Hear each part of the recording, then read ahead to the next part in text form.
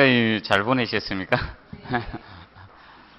자, 어, 저번 주에 이어서 이번 주는 어, 기본만 먼저 하도록 하겠습니다. 55페이지 55페이지 보면 자 조적조가 나오겠습니다.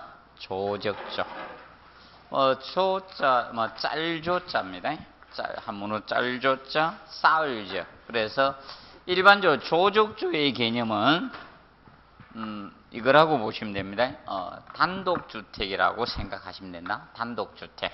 그래서 여러분들 어, 붉은 벽돌집 에, 기억나시죠? 예, 그, 그 집을 생각하시면 조적조라고 보시면 됩니다. 그래서 이 조적조라는 개념은 이것을 조적조라고 합니다. 조적은 일반 개념적인 측면으로 보시면 이런 이런 벽돌 같은 거, 이런 벽돌 뭐 벽돌은 여러분들 거의 대부분 아실 겁니다. 옛날에 세탁기 밑에 받쳤죠. 맞아? 아니면 어, 에너지 절약한다고 물 수도세 아낀다고 어, 변기 있죠? 물탱크에다가 벽돌 한 장씩 놔죠. 근데 시멘트 벽돌은 넣으면 안 돼요. 시멘트 벽돌은 그 석회가 있죠? 물에 수용되게 다 나옵니다. 그래서 붉은 벽돌을 넣어야지 시멘트 벽돌 넣으면 안 좋습니다. 그래서 이 붉은 벽돌을 넣어 주셔야 됩니다. 그래서 이런 어, 벽돌이라든지 이런 블록, 블록 같은 거 또는 이런 돌 이런 이런 것을 보통 이것을 어, 접착 재료로 쌓으려 간 거죠. 이 접착 재료 이용하는 겁니다. 접착 재료 이 접착 재료를 이용을 해서 이용해서 그러면 이 접착 재료로 이제 무엇을 쓰는가 하면 이 접착 재료로서 재료가 이 모르타르를 씁니다. 이 모르타르. 일반 이 모르타르라는 것은 시멘트하고 저번 주에 간략했었죠? 모래입니다. 시멘트하고 모래를 배합해서 만든 거죠. 배합해서 물로 비빈 겁니다. 물비빔한 거. 이것이 모르타르입니다. 이것을 이용해서 어, 쌓올라간 구조죠. 쌓올린 구조입니다. 그래서 쌓올린 구조가 바로 이 조적입니다. 조적조입니다. 그래서 이 조적 개념은 그래서 단독 주택을 생각하시면 되겠습니다. 이렇게 보면서 어, 그 간략히 몇 가지를 보도록 하겠습니다. 그런데 우리가 이제 벽돌을 표현할 때 이제 벽돌 어, 여러분들이 많이 보셨을 겁니다. 시멘트 벽돌이든 붉은 벽돌 이렇게 보시면 보통 이 벽돌에 이제 이렇게 있을 때 앞으로 이제 건축에서 보통 이렇게 어떤 재료가 이렇게 있을 때 재료가 이렇게 있습니다. 그러면 보통 이 부분, 긴 부분을 우리가 보통 길이라 하겠죠? 이걸 길이 부분이 되겠고, 그 다음에 이것을 너비 부분이 되겠죠? 요걸 너비고, 요것이 이제 보통 두께가 됩니다. 두께. 요것이 이제 두께로 표현하는데, 이때 이 건축 부재의 이 긴 면의 끝부분, 요 면하고 요 면을 보통 마구리 면이란 용어를 씁니다. 마구리. 어떤 부재의 끝부분 단면을 마구리란 용어를 씁니다. 마구리. 그럼 예를 들어서 자 이렇게 통나무가 있었다는 겁니다. 이렇게 통나무가 있습니다. 그러면 통나무 요 양쪽 끝면 있죠? 요 면을 보통 마구리라고 칭합니다. 마구리. 어떤 부재의 끝부분의 단면을 마구리란 용어를 씁니다. 마구리. 그러면 사람으로 치면 발바닥하고 이 머리 부분이 뭐가 된다? 마구리입니다. 건축 부재로 치면 마구리란 용어를 씁니다. 어떤 부재의 끝부분의 단면 부분을 마구리란 용어를 씁니다. 마구리. 기억을 해 놓으시면 간단히 알아주세요. 마구리라고 칭합니다. 마구리. 자, 그래서 거기 보시면 어, 마구리라는 게 나오죠. 그 밑에 자, 55페이지 하단에 그 보시면 마구리 해가 벽돌 제일 좌측 있죠? 마구리. 그러면 예를 들어서 어, 이 부재로 칭하면 자 여기가 뭐가 된다? 마구리입니다. 마구리.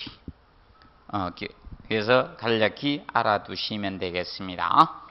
보시면서 자 잠깐 넘겨 보십시오. 음, 넘겨서 보시면 56페이지에 보시면 어, 이제 거기 이제 벽돌벽의 이렇게 두께라고 이렇게 나오는데 뭐 0.5b, 1b 이제 벽 두께를 나타낼 때 우리가 이제 약속을 한 겁니다. 뒤에 b를 쓰는데 b를 씁니다. 그럼 예를 들어서 벽을 이렇게 쌓았습니다. 벽체를 이렇게 쌓게 되면 이런 벽을 쌓았을 때 이 벽 두께 이 벽 두께를 나타낼 때 우리가 이제 암 거실하고 뭐 침실 사이 벽을 쌓았다. 그 벽 두께가 얼마냐 이렇게 벽 두께를 나타낼 때 뒤에 b를 쓰게 되는데 보통 여기에서 어, 뭐 1b, 0.5b 이렇게 칭하는데 1b 두께, 벽의 두께를 나타낼 때 뒤에 이렇게 나타납니다. 벽 두께를 나타낼 때 뒤에다가 b를 씁니다. b 약 우리의 약속입니다. 예. 약속인데 1b 두께 이렇게 칭합니다. 1b. 그러면 1b라는 것은 무엇을 1b 벽 두께라는 것은 자 보통 이 벽돌의 길이 부분 두께를 칭합니다. 벽돌의 길이. 이게 쉽게 이야기하면 어 이렇게 벽돌이 있을 거 아닙니까? 벽돌이 있으면 요것이 바로 1비 두께입니다. 요 두께만큼 벽을 쌓을 때 요걸 1비 두께, 벽의 두께를 1비라고 칭합니다. 1비 두께. 1비란 용어를 씁니다. 1비. 그러면 거기 보면 0.5비 나오죠? 0.5비 개념. 0.5비 두께는 자 어떤 개념인가 하면 지금 여기 1비니까 요거의 절반이 0.5비가 아니고요. 어, 요 마구리 부분, 요 부분입니다. 요 부분. 요 부분 두께, 요 치수가 바로 0.5비입니다. 여기 0.5비 두께입니다.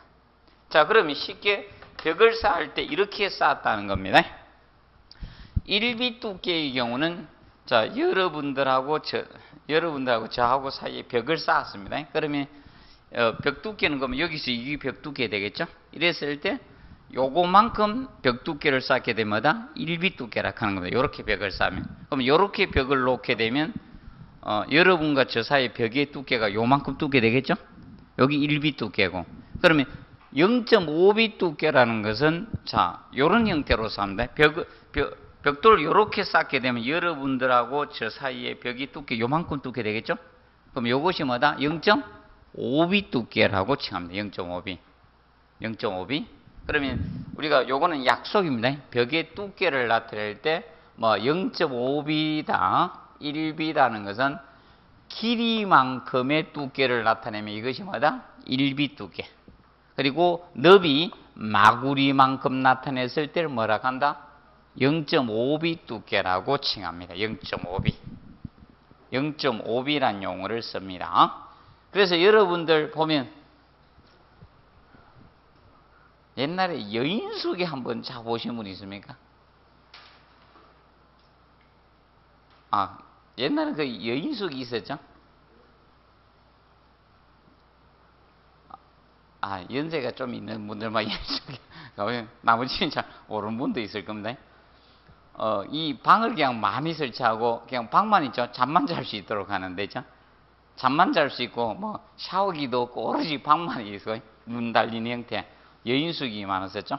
아, 저희 촌에도 여인숙이 딱 하나 있었습니다. 아직도 아니, 제 초등학교 때 봤는데 문화 여인숙이었었는가 여인숙이 있는데 그런 아마 방들이 가보진 않았는데 분명히 그냥 벽만 쳤을 거고 아마 두께를 아마 1비 두께로 안 쌌을 겁니다. 벽돌 아낀다고.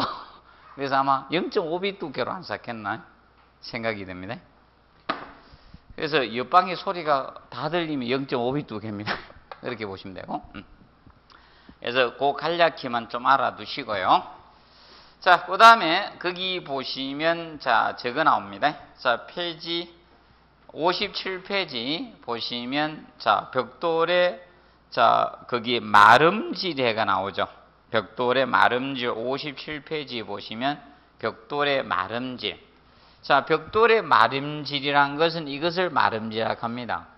자, 이 벽돌을 사용할 때 온장 사용이 기본 원칙입니다. 벽돌은 온장 사용이 기본입니다. 온장 사용이 원칙입니다. 이 절단하지 않고 사용하는 게 원칙입니다.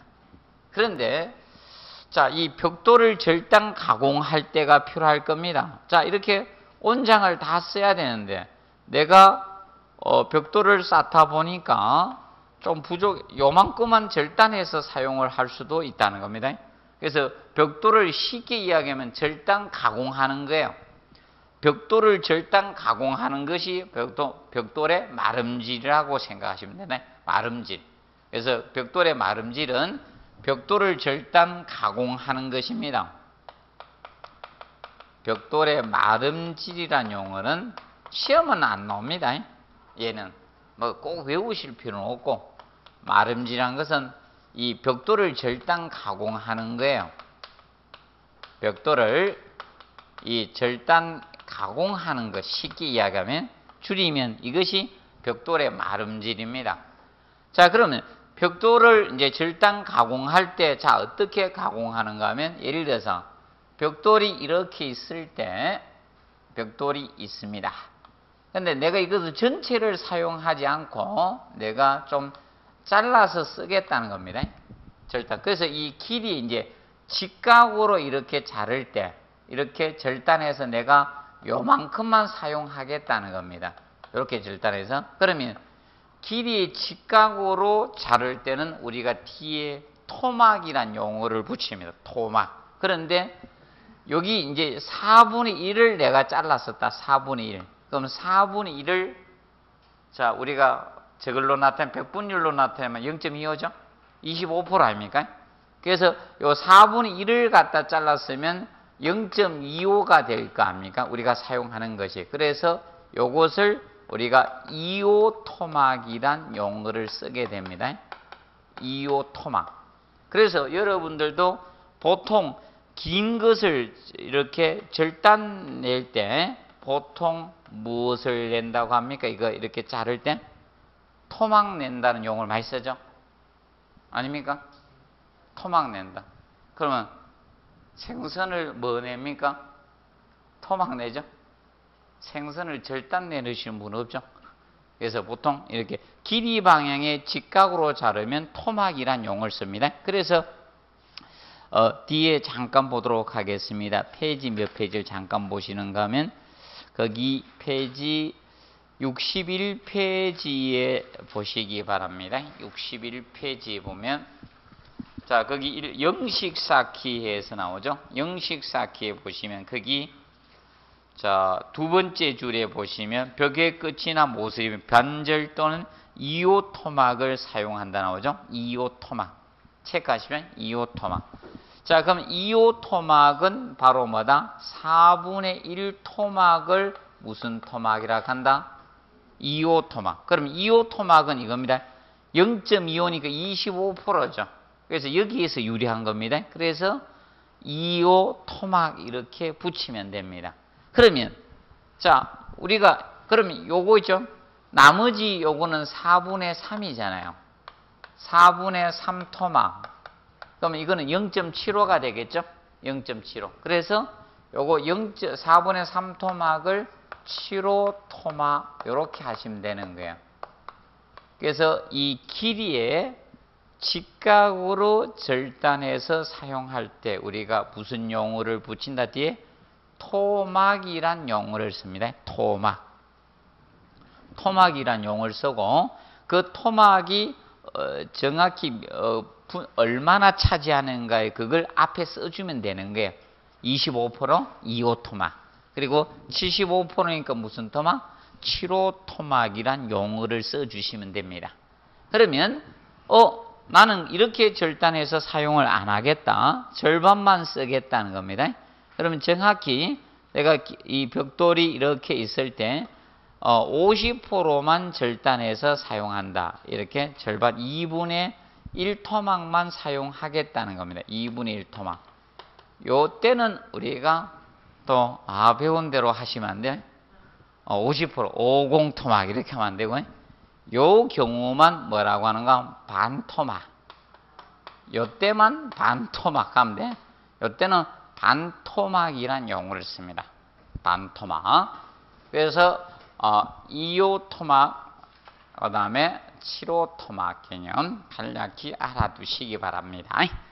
자, 그런데 이때 거기 보시면 자 뭐가 나오는가 하면 자 아까 55, 어, 61페이지에 거기 어, 반절 또는 뭐라고 해서 2호 토막이란 용어를 썼죠. 그럼 반절 개념은 이것을 반절이라고 해요. 자, 벽돌이 이렇게 있을 때 길이 직각으로 절단해서 사용하면 우리가 토막이란 용어를 썼는데 벽돌을 쓰다 보면 이렇게 벽돌을 절단해서 사용할 수도 있다는 거예요. 이렇게 길이 방향으로 길게 절단해서 사용할 수도 있다. 그러면 요때 요것을 우리가 반절이라는 용어를 씁니다. 반절. 이때는 반절이라 해요.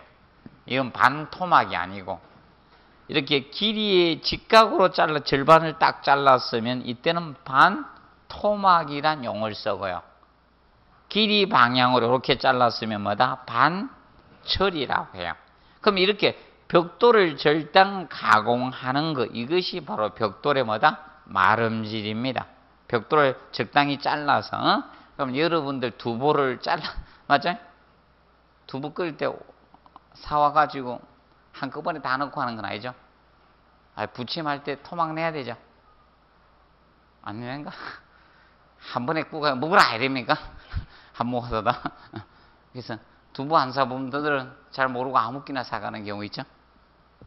어, 저는 하도 심부름을 자주 해서 두부는 종류를 깼습니다. 아, 집에 마트가 있어요. 들어올 때 무슨 두부 사고 그렇게 해요. 맞죠? 사다 줘야지 안 사오면 반찬 없다 이래죠. 자, 그래서 이 토막과 반절의 개념을 정확히 여러분들이 기본적으로 알아두시면 되겠습니다. 정리하시고. 그런데 그 앞에 보시면 이제 페이지 어 58페이지 보십시오. 그래서 58페이지에 보시면 모르타르가 나오죠. 모르타르. 벽돌을 쌓을 때 접착제로서 이 부착 강도를 가지고 이 그래서 여러분이죠. 벽돌이나 블록을 갖다가 뭡니까? 본드 가지고 접착할 수는 없죠. 그래서 바로 이 모르타르 가지고 이 접착제로 사용을 우리가 하는 겁니다. 그래서 시멘트하고 모래를 섞어서 이제 물로 비비는 것이 뭐다? 모르타르입니다. 그래서 여러분들 볼 때, 와, 전부 다 막 콘크리트 이러면 안 돼요. 벽돌 쌓거나 이럴 때는 뭐다? 모르타르고. 콘크리트는 건물 지을 때 있죠? 건물 뼈대 만들 때 그거 탓을 갖다 붙는 거죠? 그래서 지금은 거의 대부분이 뭔가 하면, 자, 여러분들, 이, 이 차 오죠, 이거.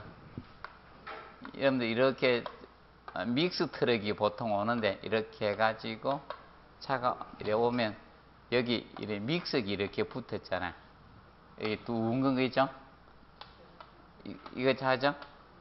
이거 레미콘이라 하면 안 돼요. 이 안에 들은 콘크리트가 레미콘이고 ready mix 콘크리트 줄임말 레미콘이고 이 차 레미콘 아니에요? 아지데이트 트럭 또는 트럭 믹서라 해야 저 레미콘이다 이래 레미콘 간다 이래요. 뭐 탓을 하고 가는데 뭐 안에 콘크리트 없는 경우도 많은데 그래서 이 어, 어, 이, 이거죠. 그럼 여기 이제, 여기에서 이제 갖다 이렇게 이제 펌프카 와가 이렇게 붙는 거 있죠? 그게 콘크리트고. 어. 그래서, 어, 이, 보통 이거 보고 다 레미콘이라 해요. 그래서 그 보시면 이 모르타르 개념이 됩니다. 자, 그리고 이제 줄눈 나오죠? 자, 줄눈이란, 자, 줄눈이라는 것은 원래 개념이 이거예요.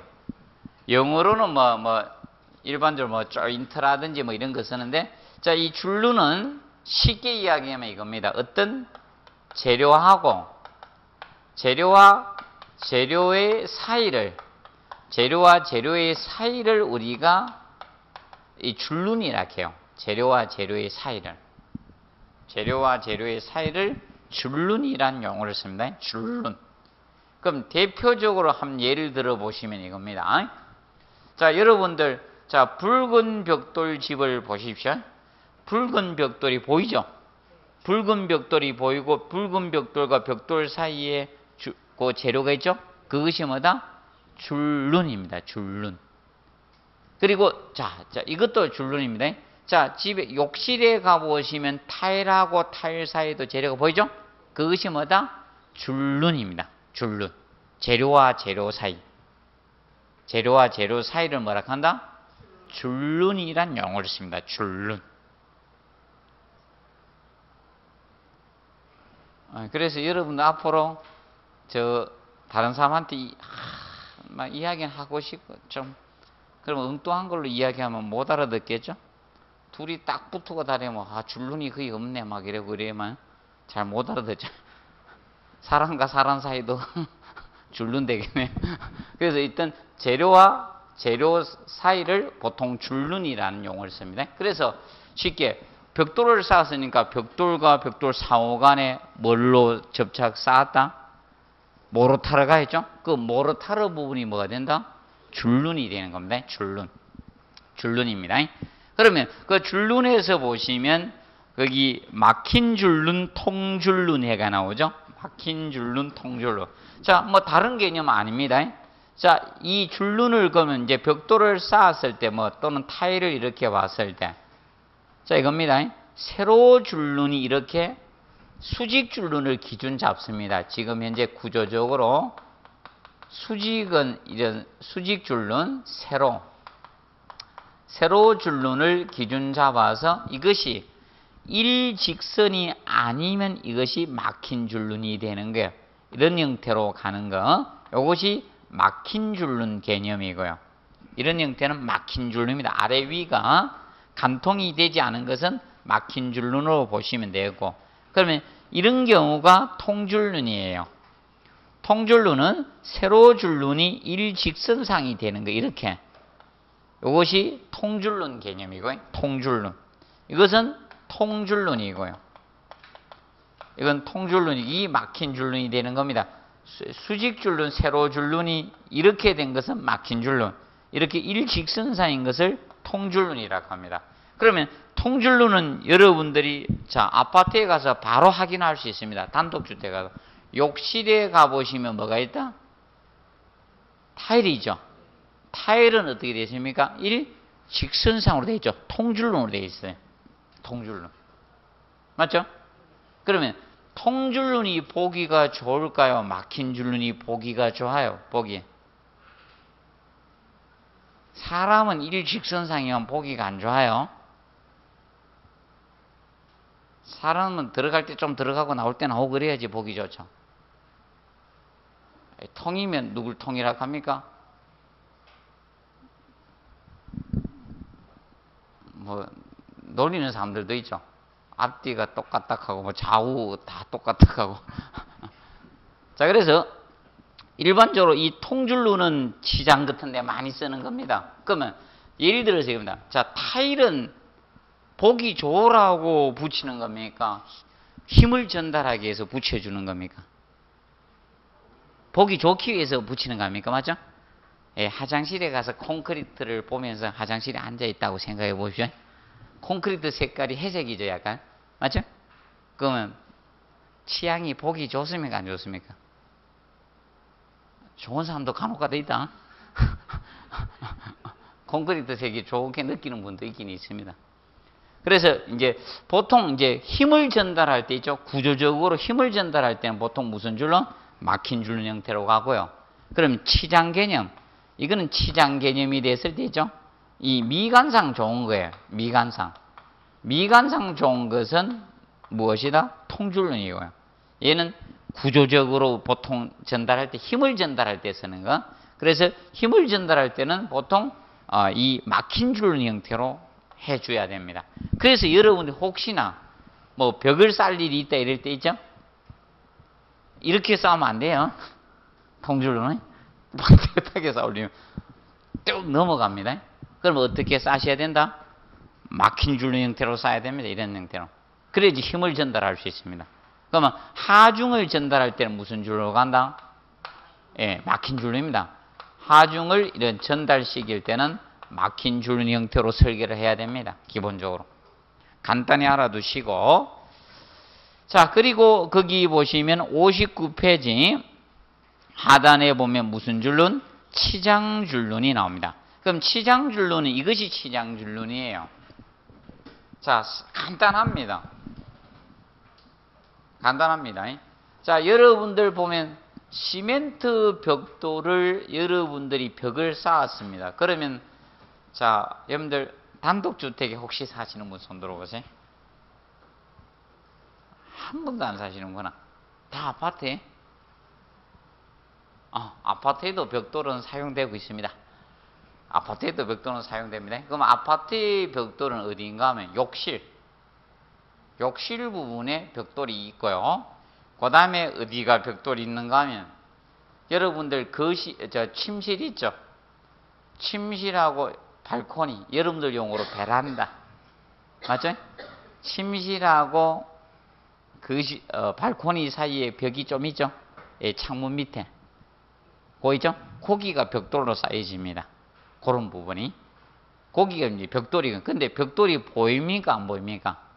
안 보이죠? 마감을 했기 때문에. 그럼 그런 것은 치장 줄눈이 아니에요. 그럼 치장은, 사람은 치장을 어디에 치장합니까?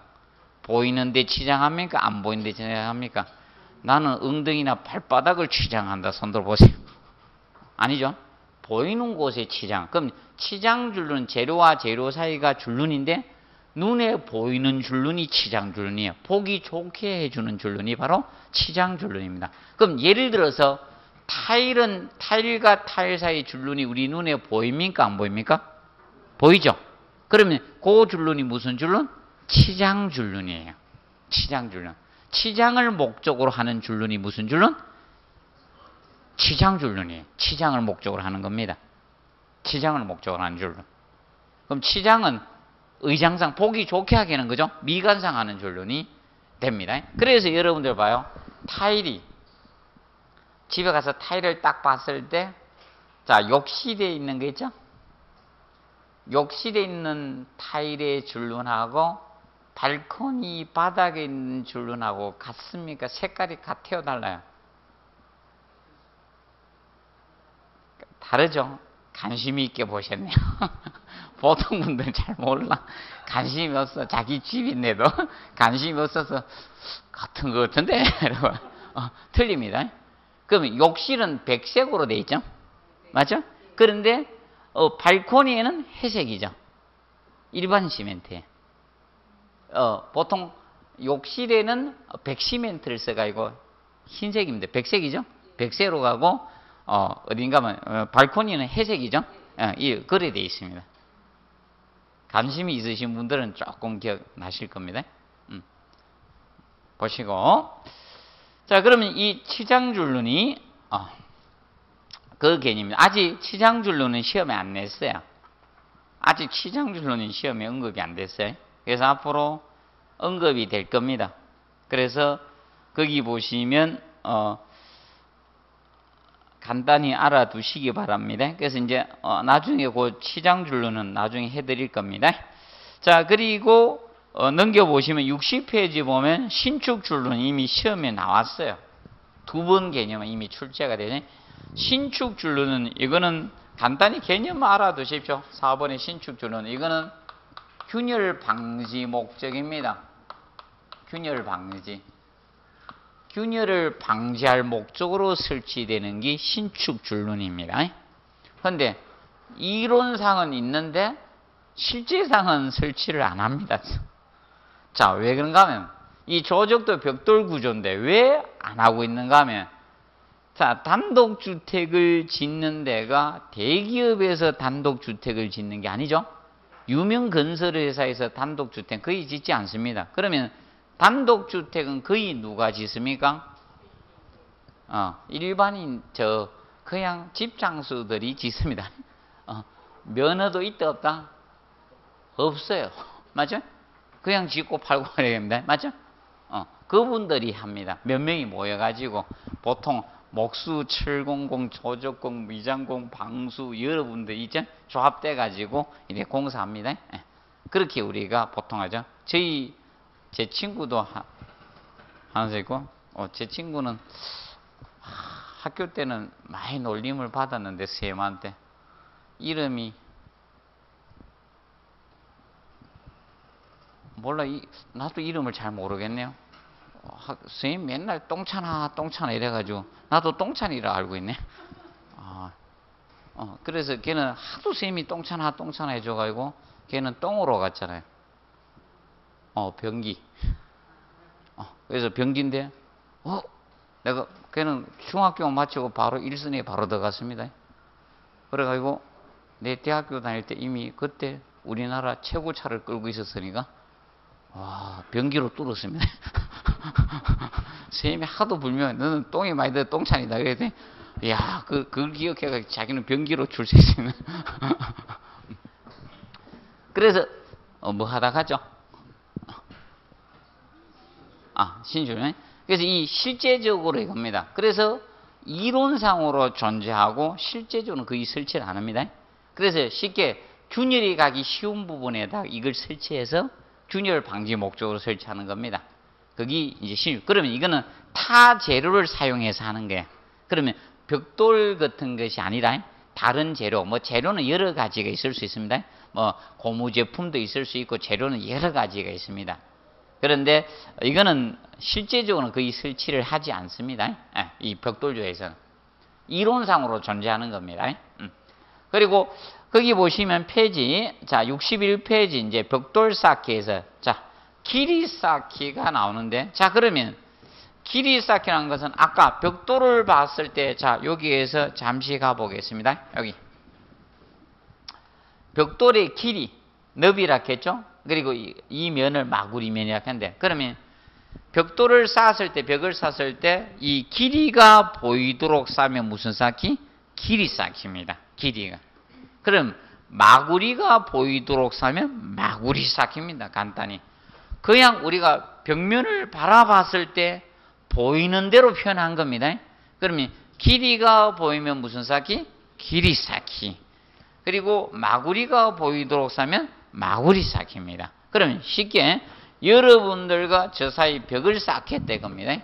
음, 벽을 쌓겠다. 자 그리고 어, 공부는 공부는 앞으로 하시면서 어, 이, 이런 관념을 가지고 공부하시면 됩니다. 어, 나는 하는 게 없어서 질문을 안 해야 되겠다.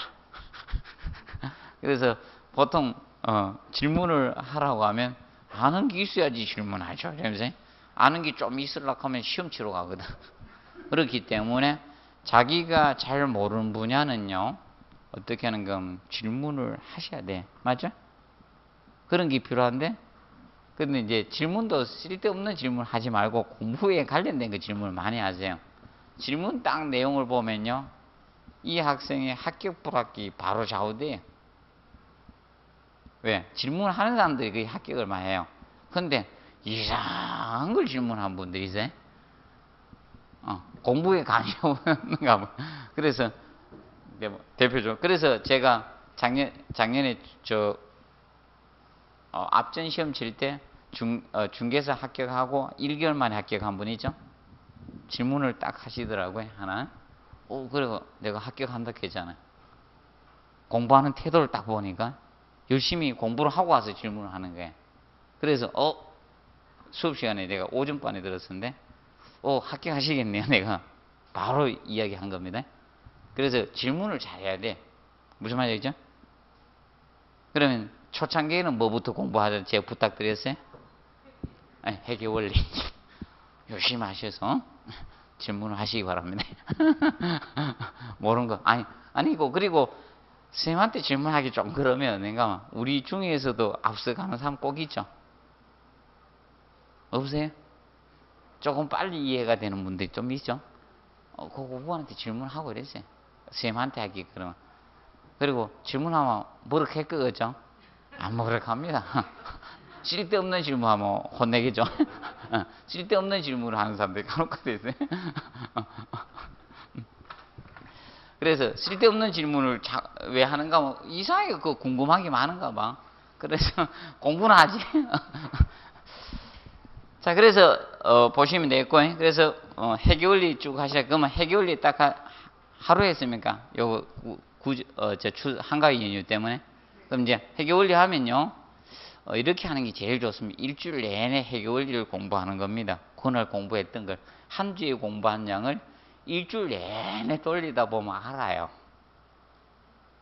왜 그런가 하면 여러분들 이제 며칠 봤다고 웬만하면 여러분들 알죠 이제 옆에 분들 아직도 잘 몰라요? 한 달만 지나봐요. 확실히 잘 압니다. 근데 공부도 똑같습니다. 처음에 낯설어서 잘 모르는 거지. 자주 하시면 쉬워집니다. 맞죠? 그리고 기본기를 잘 닦아 놔세요. 기본기를 잘 닦아 놓은 상태에서 공부를 하면요. 시험이 어려워도 별로 안 흔들려요. 기본기 없이 야 핵심만 턱강 뛰다 탁탁탁 하죠. 그것만 해서는 안 돼. 기본기가 깔린 상태에서 뒤에 공부를 해야지 점수가 잘 나와요. 그래서 기본기를 우습게 여기는 분들이 많아요. 그분들은 계속 사상 누각입니다. 철렁철렁. 그래서 기본기를 잘 닦아 놓으시기 바랍니다.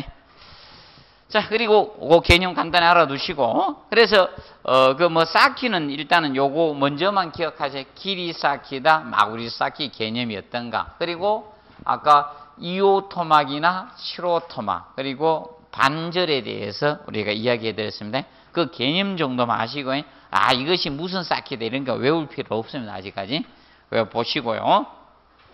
자, 그 다음에 이제, 어, 넘겨주시면, 자, 페이지, 몇 페이지를 좀 보시는가 하면, 자, 64페이지를 한번 보십시오. 64페이지. 그 하단에 보시면 밑에 공간 쌓기라는 게 나와요. 하단에 보시면 공간 쌓기. 자, 공간 쌓기라는 것은 이것을 공간 쌓기라 합니다. 자, 이 벽체와 벽체 사이 부분에다가 공간을 두는 방식입니다. 자, 이 벽을 이렇게 자, 축조를 했다는 거, 벽을 쌓을 때 이제 벽을 이렇게 쌓았습니다. 벽체를 이렇게 쌓을 때 벽체와 벽체 사이에다가 공간을 두어서 쌓는 방식입니다. 이렇게 해서 이 중앙 부분에다가 이 벽체와 벽체 사이에다가 이 공간을 두어서 쌓는 거예요. 공간을 두어서 쌓는 이것을 공간 쌓기란 용어를 쓰고 있습니다. 공간 쌓기. 공간을 두어서 쌓겠다는 겁니다. 그러면 이 공간을 두게 되면 어떤 효과를 가지는가 하면 제일 처음에 이 공간을 둔 목적은 이 목적입니다. 첫째가 이 방섭입니다. 습기를 방지하겠습니다. 자, 쉽게 예를 들어서입니다. 이쪽 외부 부분에 무엇이다? 자, 비가 내린다. 그래서 이 빗물이 이 벽체에 타고 그러면 벽돌은 일정량의 흡수율이 있을 물을 흡수해 버려요. 물을 흡수하면 이 안에 있는 이 벽의 벽지를 보통 마감해 놨잖아요. 벽지가 어떻게 됩니까? 벽지가요? 습기 때문에 뭐다? 곰팡이 다 피는 거예요. 그래서 여러분들 이겁니다. 벽지에 곰팡이 피고 이런 거 있죠? 그거 뭐 때문에 생기는 현상이다? 결로 현상 때문에 생겨요, 결로. 여러분들이 전부 다 집에 보면, 자, 결로 생기죠? 우리 집은 결로가 전혀 없다, 한 번도 안 생긴 분 혹시 손 들어보세요. 우리 집에는 결로가 한 번도 생기지 않았다. 물방울이 전혀 안 생겨, 습기가 안 차더라. 이런 분이 있습니까? 저는 없다고 봅니다. 있으신 분들은 항상 뭘 듣는가 죄석기를 계속 가동하고 있는 분이죠. 그분은 안 생길 수 있습니다. 나머지는 거의 다 발생이 된다고 보시면 되는데 그럼 보통 그래서 여기 빗물이 스며 들어오면 이 벽체된 이 공간을 두는 거예요. 그럼 공간을 두면 빗물이 타고 물이 타고 내려올 거 아닙니까? 그래서 밖으로 물을 빼내 버리면 이 벽체는 건조 상태 유지하겠죠. 그래서 이 습기를 방지하는 이 방섭 있죠? 방섭 때문에 이 공간을 우리가 둔 겁니다. 그리고 이 공간을 두면 또 뭐도 되는가? 방음도 돼요. 소음을 방지하는 음을 차단하는 개념도 됩니다. 그래서 여러분들 이것이 좋습니다. 발코니가 있는 게 좋습니다. 발코니가. 여러분들 용어로 베란다. 실제 있는 것이 뭔가 하면 여러분들 보통 여기 도움이 돼요. 어, 여름에 냉방비 적게 들어가고 겨울에 난방비가 적게 들어갑니다. 그런데 학장 많이 하셨죠? 학장을 하게 되면 바로 발코니 그 외벽이 외벽이 되는 거죠. 그렇기 때문에 공간이 없어요. 그래서 에너지 손실이 많이 되는 거예요. 그래서 저는 그 학, 학장에 대해서 찬성론이 아니고 반대론입니다. 옛날부터. 저는 그 학장하는 것에 반대론입니다. 학장을 하게 되면 제일 나쁜 게 이겁니다. 아래층이 불나면 2층으로 올라와요. 근데 옛날 아파트 발코니가 있는 아파트는 그 밑에서 불나면 그 층에서 거의 끝났죠. 맞죠? 에이 어디에서 신고해가 오잖아요. 맞죠? 그 층에서 다 끝나 불 끄고 맞죠? 위로 올라가세요? 안 올라가세요? 안 올라가죠? 근데 지금 현재 주상복합 건물이나 이런 높이 올라간 오피스텔 같은 경우 있죠? 아래층에서 불나면 위로 다 올라갑니다. 그것이 나타난 게 저번에 저기 나왔죠? 다행히 외벽 타고 올라가서 끝나서 다행이라서 부산에 옛날에 TV 못 보셨습니까? 마린시티인가 어딘가 다행히 소각장에서 타가 다행이지. 그쪽 라인 타가지고 그래서 어, 이 방음도 되고요. 그 다음에 이제 이런 단열 열을 차단한 단열 개념입니다 그래서 이런 목적으로 공간을 두어서 쌓는 거. 벽체와 벽체 사이에 공간을 두어서 쌓는 걸 무슨 쌓기? 공간 쌓기입니다.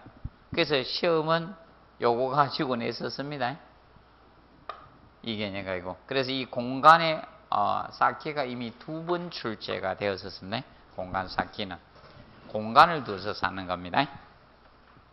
자, 간단히 알아두시고요. 그 다음에 넘겨보시면 66페이지 보시면 아치 쌓기. 아치 쌓기.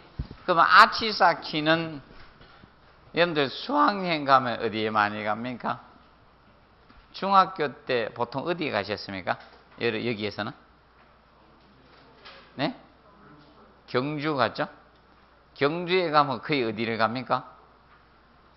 불국사 석굴암 가죠? 어. 그래서 불국사에 가가지고 어 우리 딸내미가 이랬는데 백운고 청운고 어딘가 찾아봐야 됐대만 여러분들 백운고하고 청운고 하십니까? 예, 네, 달인데. 우리 딸내미 이랬는데 백운청구 어딘 거 찾아봐야 되니까 오른쪽 거 큰 거는 백운고 저쪽 좌측에 있는 게 아, 아 이게 청윤고라 하고 저쪽이 백운고라 하네. 같이 있죠?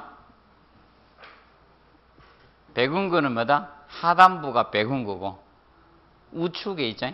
가서 우측에 있는 그 절로 들어가는 있죠 교가, 교량이 있는데 그 밑에 끼 하단부가 백운 거고 위에가 뭐다?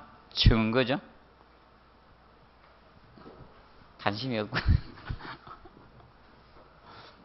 그래서 아 우리 가족 다 들다가 설명해 주도 있잖아요. 그 특수 그 불국 줄 돌면서 그 아, 도망단다고. 아, 내가 역사적으로 다 설명해 주고 이렇게 이게 건축적 기법으로 뭔가다. 근데 이 백운고 다리를 보시면 자, 뭐 드러났습니까? 백운고 밑에 아치가 이렇게 돼 있죠. 맞죠? 이 돌로 이렇게 아치돌을 이용해서 이렇게 돌로 이렇게 밑에 끼 백운고에 가서 또 우리 딸내미처럼 무식한 소리 하면 됩니다. 오른쪽이 청교고 좌측이 백운고 되면 안 됩니다. 같은데 동, 동시에 있습니다. 하단부가 백운구고 위에 상단부가 정거입니다. 있을 때 옆에서 보십시오. 모르는 사람들은 이 가치를 모르는 사람들은 앞에서 사진만 찍어요. 정면에서 정면에서 사진만 찍는데 어, 측면으로 가서 옆에서 옆에 측면에서 보면 아치돌 몇 개를 쌓아놨어요. 그리고 이 바깥쪽으로 튀어나오게 요 위에다가 여기에다가 이제 보통 이 아치돌은 이렇게 해서 보통 어디인가 하면 위에가 커요. 밑에가 작게 이렇게 처리되어 있어요. 근데 여기는 위에 누르는 돌은 어떻게 되는가? 이 이중으로 되어 있어요. 이중으로 되어 있는데 보통 여기 돌은 크게 세 개로 나누어져 있어요. 이렇게 하나 돌이 있고 자 크게 여기 세 개의 돌로 이렇게 되어 있어요. 그런데 이 돌이 밑에가 크고 위에가 작게 이렇게 설계되어 있어요. 백은 거를 보시면 측면에서 봐야 돼. 측면에서 앞에서만 보지 마시고요. 그러면 측면에서 이렇게 옆에서 백은 거를 보면 아치돌이 이렇게 돼 있는데 그럼 여기 돌이 이렇게 되면 이게 빠지죠. 그래서 얘가 누르주는 역할을 하는 거예요. 밑에 돌을. 그러면 지진이 와서 흔들리더라도 이 돌이 위로 튀어 올라가 버리면 이 다리가 붕괴되거든요. 그래서 위에서 이렇게 누르주는 돌을 해놨습니다. 그래서 이것이 전 세계에 딱 하나 있는 겁니다. 백운거 여기에 딱 하나 있습니다. 전 세계적으로 딱 하나 있는 거예요. 아치사키에서. 그런데 내가 그 중국 관광 가이드들 좀 가르쳐 줄, 와, 설명 하나도 안 해. 앞에서 뭐, 딴 것만 설명하고, 전 세계에서 하나 있다는 거 좀 우울성도 해주고, 그 신라시대 때 내진 설계했다는 거 좀 우울성도 해주고 그래야 되는데, 안 하더라고. 아, 내가 교육을 시키고 싶더라고요. 앞에서, 와, 줄서가 마이크로 이야기하고, 확 까버리고. 그래서 유일하게, 아, 이것도 큰 건축적 그겁니다. 그러면 아치는 보통 뭔가 하면 여러분들 이 벽돌하고 이런 돌 같은 거 있죠. 이 조적은 이 조적조는 보통 뭔가 하면 힘의 전달을 하중의 전달을 전부 다 무엇으로 하는가 하면 누르는 힘입니다. 압축력으로 전달해야 돼. 압축력. 압축력은 우리가 했죠. 예, 저번 시간에 누르는 힘을 무슨 역이라 했다? 압축력이에요. 누르는 힘이에요. 누르는 힘이 압축력이에요. 압축력. 그래서 누르는 힘, 힘의 전달을 전부 다 압축력으로 전달해야 돼요. 눌러줘. 그래서 만약에 이렇게 하게 되면요. 건물을 지을 때 이렇게 하게 되면 개구부를 여기에다가 자 개구부를 둬 가지고 개구부는 이걸 개구부라 해요. 창문하고 문 문을 통틀어서 구멍을 뚫어 놓은 것을 다 개구부락 해요. 개구부락 하는데 개구부를 뚫어 놓고 이렇게 하게 되면 어떻게 됩니까? 힘을 누르면 이게 뚝 부러져요. 붕괴돼요. 장습하네. 그래서 이 부분을 그래서 여러분들 성문 보면 전부 다 어떻게 되어 있어요? 성문 보면 이렇게 되어 있죠. 대하드라마 보면 맞죠? 전부 다 이렇게 돌 이제 석굴암이든 자 이렇게 위에를 아치 쌓기를 이렇게 해놓은 거예요. 아치 쌓기. 그러면 이 아치 쌓기를 이렇게 해놓은 이유가 바로 압축력으로 전달하기 위해서입니다. 압축력. 그래야지 붕괴가 안 돼요. 그래서 여러분들 석굴암이 붕괴가 안 된 이유가 그거예요. 맞죠? 석빙고 이런 거. 전부 다 천장이 어떻게 되어 있습니까? 아치로 되어 있잖아요. 맞죠? 어, 대전에 가까운 성이 뭐이죠? 대전에는 성 없습니까? 대전 주변에?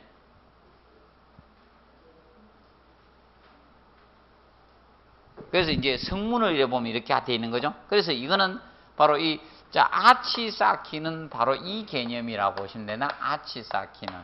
그래서 이것도 시험 두 번 나왔습니다, 이미. 아치 쌓기는 잡아 당기는 힘을 무슨 힘이라 한다? 인장력입니다. 그래서 인장력을 압축력으로 바꿔주는 구조입니다. 압축력으로 이 어, 바꾸어주는 구조입니다. 바꾸어주는 구조입니다. 바꾸어주는 구조가 바로 아치사키 아치 구조라고 합니다. 아치 구조. 그래서 붕괴가 안 되는 거예요.